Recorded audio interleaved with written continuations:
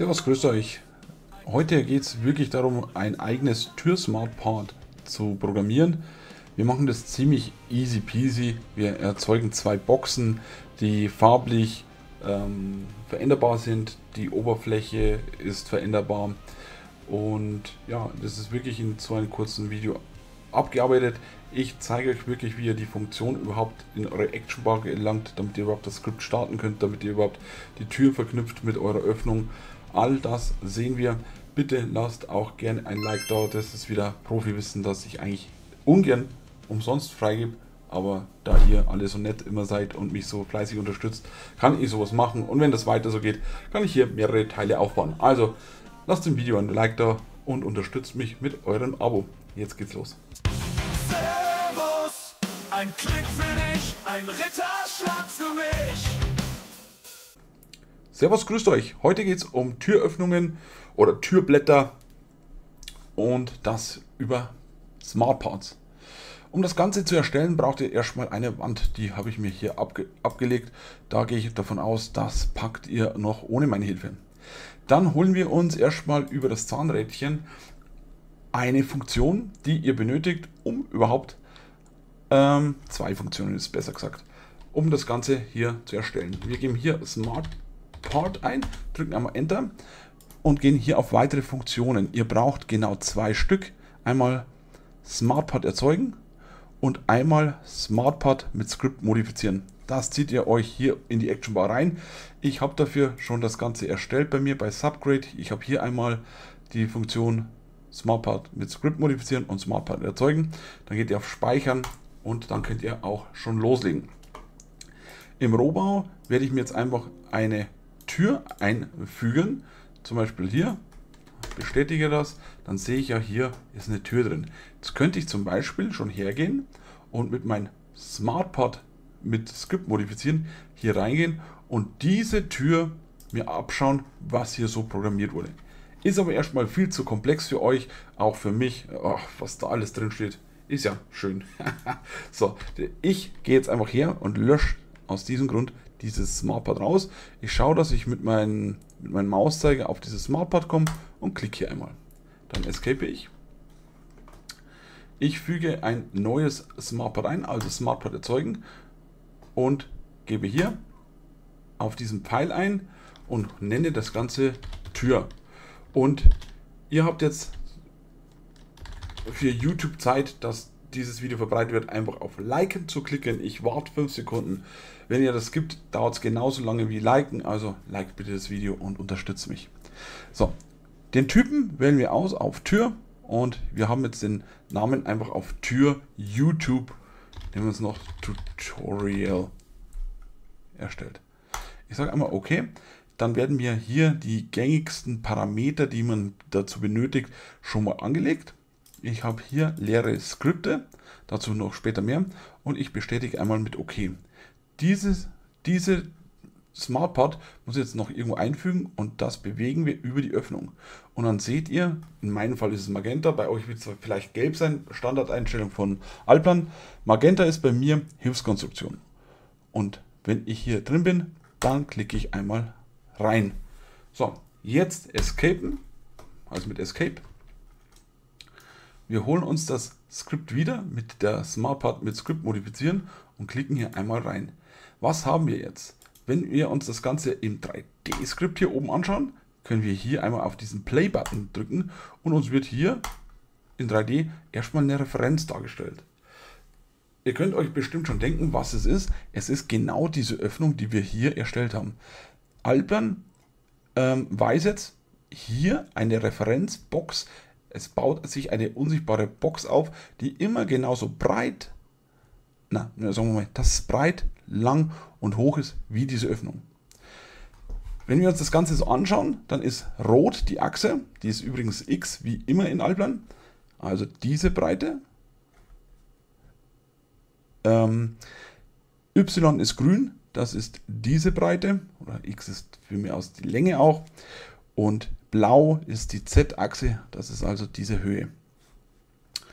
Und unser Referenzpunkt, von dem wir ausgehen, um 3D zu modellieren, ist genau an diesem Pünktchen. Da startet das Ganze bei uns. Dort ist unser Referenzpunkt. Wir können das hier wieder in Süden und so weiter anschauen oder auch von oben. Wir können anhand der Achsen sehen, wo wir uns gerade befinden. Also die Z-Achse sehen wir nicht, denn die ragt gerade so raus aus dem Computer. Und hier ist Y, hier ist X. Okay, mehr brauchen wir erstmal nicht wissen. Was man bei Türen und Fenstern am häufigsten braucht für ein Element, und das ist das einzige, was ich euch heute zeigen werde, das ist eine Box. Um eine Box zu zeichnen, braucht man einfach nur den Befehl Box eingeben. Allerdings hier aufpassen im 3D-Skript und es muss auch aktiv sein. Mit der Box wird noch gar nichts gemacht, weil die Box weiß weder Länge, Breite, Höhe. Das könnt ihr jetzt hier unten sehen. Das ist die Syntax. Die Box braucht ein A, B und C. Und A steht eigentlich für die, für die Breite, Länge und die Höhe. Okay? Also das könnte, wir könnten jetzt das so angeben, A, B, C, und gebe das ein. Wir werden nichts erstellen, denn die Box hat jetzt die Werte A, B und C und A ist 0, B ist 0 und C ist 0. Wir könnten jetzt hergehen und sagen, A ist gleich 1,0. Dann wäre A 1 Meter. Wir könnten auch hier hergehen und anstatt B 2 Meter eingeben. Wir könnten anstatt C, ja, gehen wir hier noch C ein, C ist gleich 2 Meter. Wir erstellen das Ganze und wir sehen jetzt, dass A 1 Meter, hier die Breite, trifft fast unsere Öffnung. Wir haben wahrscheinlich 1,1 Meter Breite. Breite. Äh, dann Y ist, wenn wir nach, von oben schauen, hier, das hier. Und das ist 2 Meter.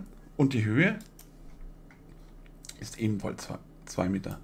Jetzt könnten wir das Ganze so machen und sagen, ja, wir wollen ja die Breite von der Tür haben, also äh, von der Wand haben. Gehen wir B hier so ein und 1,1 Meter soll A sein. Jetzt haben wir das so ungefähr und dann brauchen wir noch die Höhe. Ja, so ist das aber nicht gedacht. Denn die Tür soll sich ja anhand der, der ähm, Achsen orientieren oder der, der Koordinaten, der Referenzpunkte. So, und wie machen wir das Ganze jetzt schöner? Wir erzeugen die Boxen nicht anhand von A, B, C, sondern an den Referenzen. Das heißt, wir geben jetzt hier einfach mal ref x ein. Ihr seht, dann wird das Ganze auch gelb geschrieben. Das ist eine vordefinierte Variable. Die findet ihr übrigens auch im Parameterskript hier wieder. Dort findet ihr auch den Wert, der aktuell gegeben ist. Und der Referenzpunkt x gibt sozusagen die Breite äh, oder die Länge ein, die jetzt von der Öffnung ausgehen. Ebenso seht ihr y, dies, das sind die 25, also die Wandbreite oder die Öffnungsbreite, die Öffnungsbreite müssen wir eigentlich sagen. Und der z-Wert ist 2,28,5 das ist die Höhe die, der Öffnung momentan.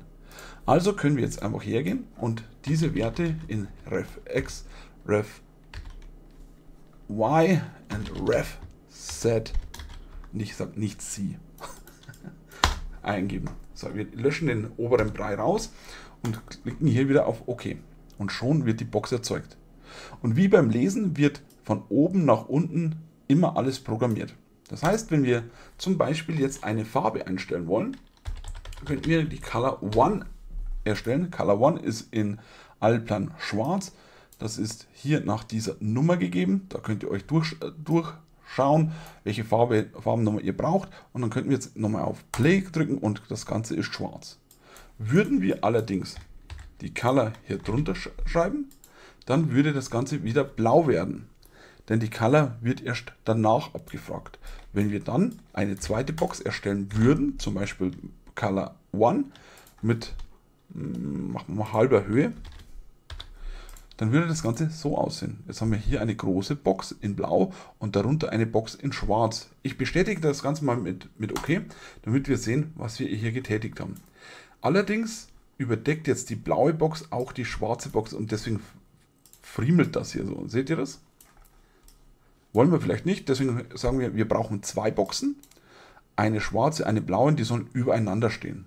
Ich verkleinere das Ganze wieder, gehe wieder in mein Parameterskript und hole mir jetzt wieder die, Tor, die Tore.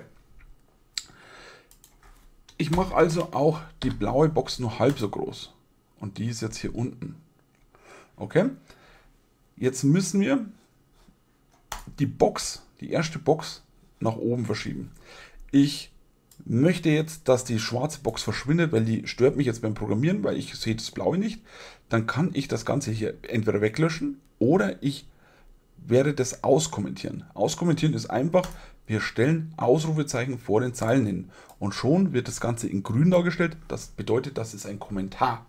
Mit Kommentare könnt ihr einfach euch selber hinschreiben, was ich hier gerade ausgeführt habe. Zum Beispiel, diese Box orientiert sich an der Öffnung. Also ihr könnt zum Beispiel auch hinter einer Funktion einfach ein Ausrufezeichen schreiben, um euren Code verständlicher zu machen. So, jetzt führe ich das Ganze aus und ihr seht nur noch die blaue Box, denn die ist jetzt hier. Jetzt wollen wir die aber nach oben verschieben. Und wie am Anfang gesagt, bei den Parametern hier hier unten ist unser Startpunkt. Das heißt, wir wollen aber unseren Startpunkt jetzt nicht hier haben, um die Box zu erzeugen. Wir wollen den Startpunkt nach oben in Z-Achse verschieben, um die halbe Box und hier den Startpunkt haben und die Box erzeugen. Also gehen wir wieder in unser 3D-Skript und sagen, wir transferieren den Startpunkt mit Trans. Jetzt haben wir die Möglichkeit, entweder Trans aus, auszuprobieren. Da können wir gleich drei Koordinaten verschieben in x, y und z.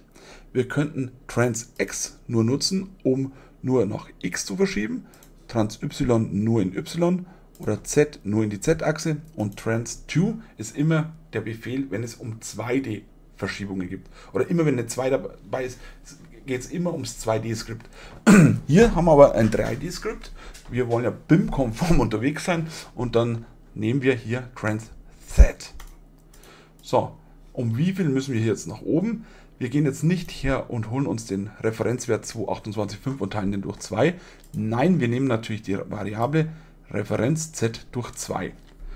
Wir klicken STRG C an und fügen das mit einem Leerzeichen hinter refz. Wenn wir jetzt das Ganze ausführen, dann sehen wir, dass diese Box hier oben erscheint. Coole Sache schon mal. Jetzt könnten wir das wieder Auskommentierung entfernen dann werden die Ausrufezeichen am Anfang der Zeile entfernt und die schwarze Box erscheint wieder. Jetzt ist die hier oben. Die schwarze Box wollen wir aber hier unten haben. Jetzt gibt es mehrere Möglichkeiten, wie wir die schwarze Box nach unten bringen. Wir machen hier mal ein Ausrufezeichen und ich mache da immer so Minuszeichen, um ein paar, um ein paar ähm, Separator, um, um ein paar Unterteilungen zu erzeugen. Jetzt könnte man zum Beispiel hier das Ganze hier oben reinschreiben. Box blau oben. Und dann schreibe ich schon alles falsch. Also blau und oben muss man eigentlich klein schreiben. Ich schreibe es jetzt einfach alles groß. Box schwarz unten. So. Jetzt die mehrere Möglichkeiten, die es einfach wieder in der Programmiersprache gibt. Wir könnten jetzt einfach sagen, ja, dann transferieren wir halt einfach den Punkt wieder nach unten einfach mit Minus. Und schon werden wir sehen, die schwarze Box ist unten, die blaue Box ist oben. Wir prüfen das einfach einmal nach in Alplan, ob jetzt das Ganze so verfriemelt ist. Nein, es ist nicht verfriemelt. Schwarz und Blau sind hier. So, wir gehen wieder rein in das Skript und sehen jetzt wieder, hier wieder unsere zwei Boxen. Wir hätten jetzt auch folgendes machen können. Wir hätten auch Restore One eingeben können. Was heißt Restore One? Also wenn ich hier als auf Play drücke, funktioniert das Ganze. Mache ich Restore 0, passiert nichts. Restore heißt einfach, er wird einen ähm, Rotations- oder Bewegungsmodus oder eine Bewegungsfunktion rückgängig machen. Genau. Und dadurch habe ich einfach gesagt, okay, ich will diesen Trans Z wieder rückgängig machen ab dem Punkt und dann die Color 1, dann die Box erstellen. Wunderbar. Jetzt gibt es noch weitere Funktionen, die vielleicht wichtig sein könnten für so eine Tür. Das ist der, den benutze ich selber nie, weil ich mache Einbauteile. Aber der heißt Model. Und mit Model kann ich hier wieder die Syntax anschauen. Also erstmal Modell ist einfach der Syntax, den ich geben muss. Und dann noch einen Type, also einen, irgendeinen Typen. Und die Typen sind vordefiniert. Da gibt es drei Stück. Wire, Surface und Solid. Das heißt, das eine Wire ist, heißt ja Draht also ein Drahtmodell, kennt ihr äh, Surface, das heißt, wir haben nur Oberflächen und wenn wir durchschneiden, dann ist es innen hohl. Und Solid ist, dann ist es innen ausgefüllt. Jetzt könnten wir daher gehen und wieder sagen, also ich, ich schreibe mal die drei Befehle hier raus, die kopiere ich mir einfach. Schmeiße ich mir da mal hin. und kommentiere die aus. Ansonsten funktioniert es gar nicht. Also ich kommentiere die aus. Jetzt sagt Alban eh schon, Moment, du hast da einen Fehler, denn du hast hier nichts angegeben. Wir könnten jetzt hier Wire eingeben. Dann geben wir das einmal ein, bestätigen und jetzt seht ihr hier ist alles durchsichtig. Ich gehe wieder in, den, in das Skript rein und jetzt möchte ich aber, dass Wire, Surface oder Solid zum Beispiel eingestellt werden kann im Dialog-Skript.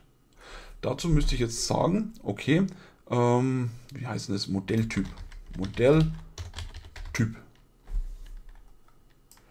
Jetzt habe ich eine, eine Variable erzeugt, die heißt aber erstmal nichts, weil die Mo Modelltyp ist nicht gefüllt. Jetzt könnte ich einfach hierher gehen und sagen, Modelltyp ist gleich, Anführungszeichen, Wire. Wenn ich das jetzt erstelle, aha, geht nicht, geht so. Ah, ah, nicht. Okay, okay, okay, okay, okay, okay. Das ist dann doch nicht so einfach, dass man das Modell über Wire steuert. Wir machen es so. Modelltyp.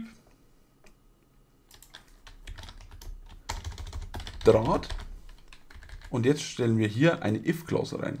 Wir sagen, if Modelltyp ist gleich Draht, then Modelltyp wire and if. Was haben wir jetzt erzeugt? Eine if-Klausel, also einfach eine Schleife, äh, nein, eine Schleife, eine, eine, eine Verzweigung. Das heißt, wir, wir prüfen, ob der, der, die Variable Modelltyp Draht heißt und wenn die, der Modelltyp Draht heißt, dann mach doch bitte das Drahtmodell.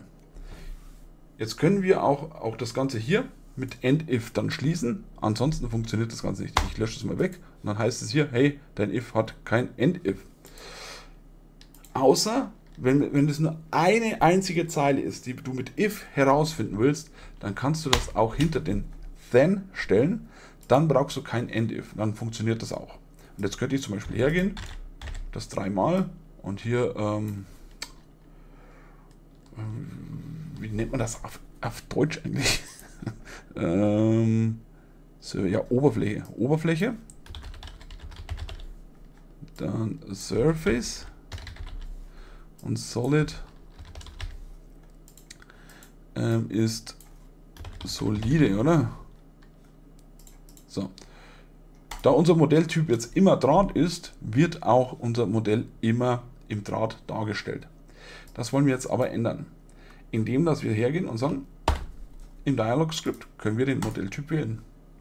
Aber hier erscheint er jetzt nirgends. Hm, dann müssen wir irgendwas noch fabrizieren. Wir gehen in dem Fall in das Parameter-Skript und sagen Modell Typ, habe ich so geschrieben, also das hier. Hier geben wir jetzt ein paar Sachen vor. Modelltyp, hm, aber wie geben wir Sachen vor? Wir, wir, wir geben jetzt eine Liste vor, was im Modelltyp auswertbar ist. Also ist eine, eine String-Variable. In, in, der Liste gibt es mehrere Strings. Und das geben wir an mit Value. Ich starte mal so. Value, Values. Mit Doppelklick seht ihr schon, es wird blau hier erscheinen.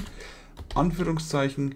Ich gebe hier Modelltype ein, Anführungszeichen. Und wenn ich hier auf Values gehe, wie funktioniert das Ganze? Das heißt, ich kann hier eine Definition angeben, wird einfach mit Leerzeichen vordefiniert und wenn ich einen weiteren Wert haben möchte, mit Komma und das kann ich unendlich fortsetzen. Das heißt, Leerzeichen, Modelltyp äh, Draht, Komma, äh, was war's? Oberflä Oberfläche und solide. Solide, ich habe keine Ahnung, ob das wirklich so ist. Aber Jetzt gehen wir mal auf OK, hier auf Doppelklick und können das jetzt noch nicht einstellen, weil wir im Dialog-Script den Modelltyp hier noch nicht ange angefügt haben. Das heißt, den gibt es zwar jetzt hier und hier, aber die greifen noch gar nicht aufeinander zu, denn der Modelltyp, dieses, äh, dieses Attribut, ist noch gar nicht so skriptübergreifend. Damit das greift, geben wir hier einen Parameter ein und den nehmen wir jetzt hier. Ich habe es noch in der, in der Auswahl hier, Modelltyp. Wir müssen jetzt noch den Typ eingeben, ob es ein ähm, String, Integer oder Floating ist, also eine, ein Text, genau, eine Ganzzahl, Dezimalzahl und so weiter. Und in unserem Fall ist es einfach ein Text. Wir können jetzt hier noch eine Beschreibung eingeben. Ähm, definiert das 3D-Objekt nach Äußerlichkeiten. Ich weiß nicht, Äußerlichkeiten, die Äußerlichkeiten, egal. Wir können noch eine Gruppe hinzufügen und könnten jetzt sagen, das ist jetzt unser, unsere YouTube-Gruppe. Wir könnten das Ganze noch ähm, mappen mit einem Attribut, brauchen wir jetzt in dem Fall nicht. Und der Wert, den brauchen wir jetzt noch gar nicht eingeben, denn den werden wir über das Interface eingeben. Klicken einmal OK. Gehen auf Parameter, na, auf Dialog Script, hier einmal ausführen und jetzt seht ihr hier Standard und hier YouTube. Und hier können wir jetzt genau diese drei Sachen auswählen.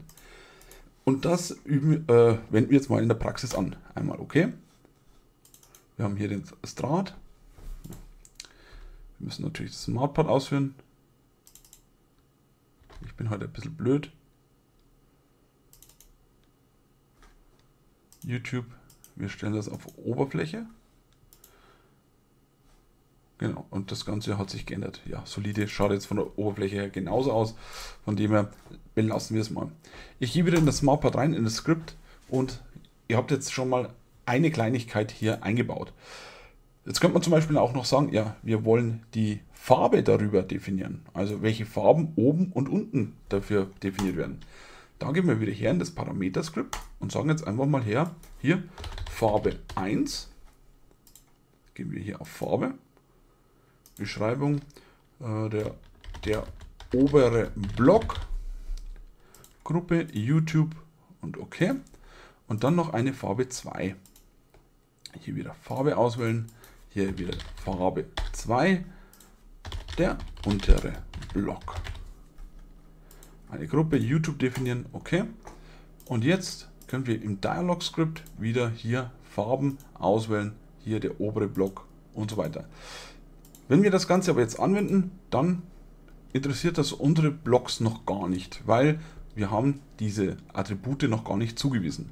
Das heißt, wir müssen jetzt hier wieder mit Color eine Farbe zuweisen und anstatt dass wir 1, 2, 3, 4, 5 reinschreiben, schreiben wir jetzt hier Farbe 1. Okay?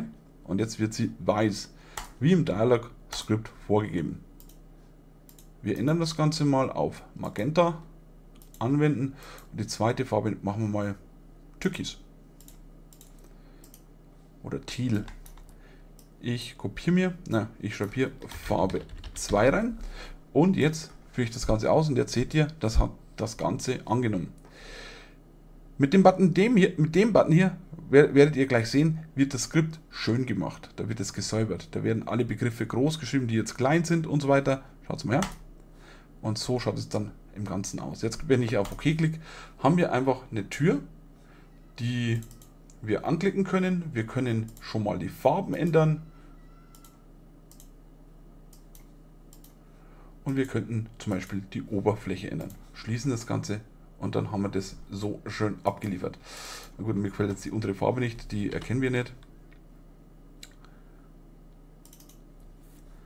Uh, YouTube. Um, um, um, so. So, das ist jetzt erstmal das erste, was wir hier erstellen. Sollen wir sonst noch was hinzufügen? Ich glaube, das reicht für dieses Video. Ähm, wenn euch das gefallen hat, dann lasst gerne einen Daumen nach oben da.